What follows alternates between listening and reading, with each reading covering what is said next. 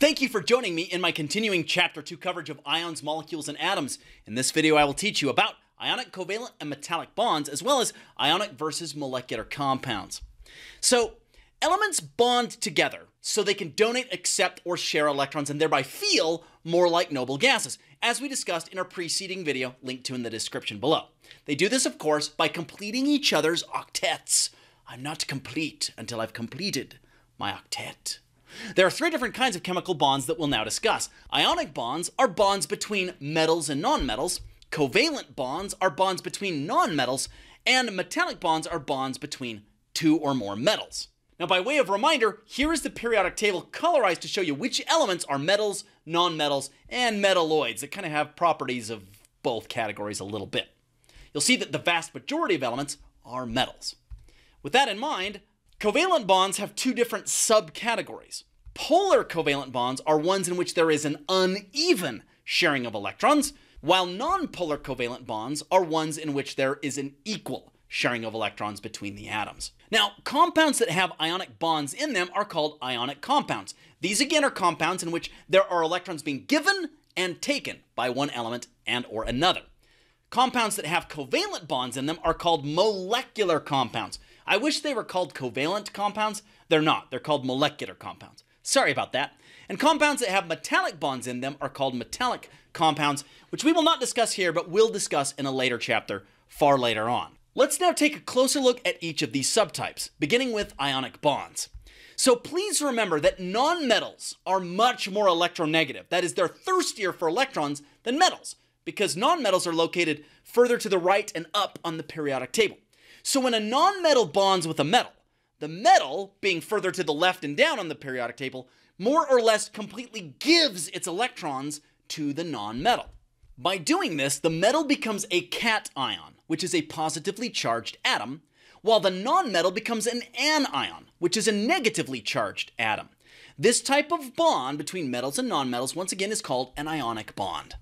So ionic bonds are bonds in which the metal atom or atoms have a more or less completely positive charge, while the nonmetal atom or atoms have a more or less completely negative charge. For example, when sodium, which is a metal and has this elemental symbol, yeah, the symbol for sodium doesn't match the English word sodium, sorry.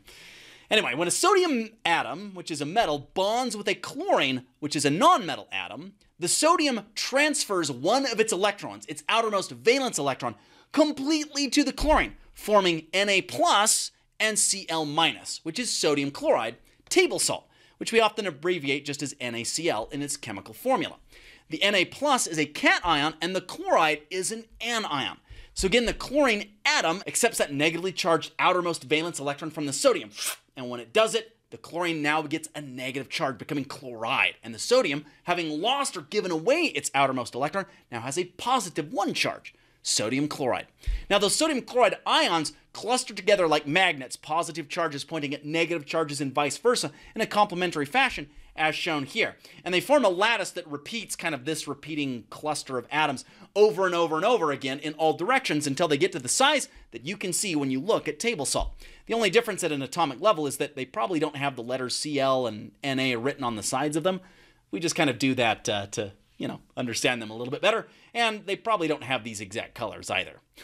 so for a cool video showing the formation of sodium chloride table salt from sodium metal and chlorine gas, I invite you to take a look at this HTML, which I won't show here for copyright purposes, but I will include the link for in the description below. We end this part with a lecture question then.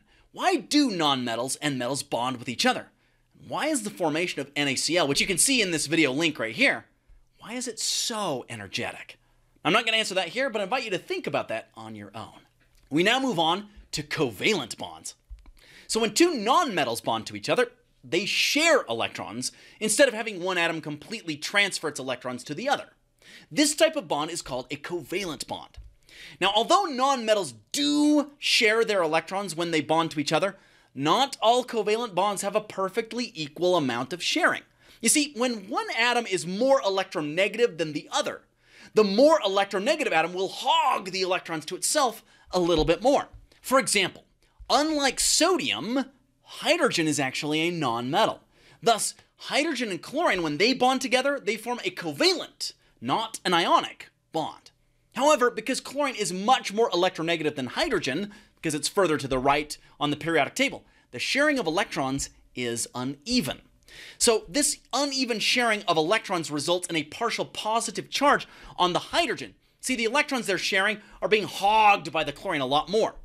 And we represent this partial positive charge with this delta plus symbol. It also results in a partial negative charge, represented by this symbol, on the chlorine. A bond with uneven electron sharing is called a polar bond. If we had perfectly even sharing, then it would be called a nonpolar bond.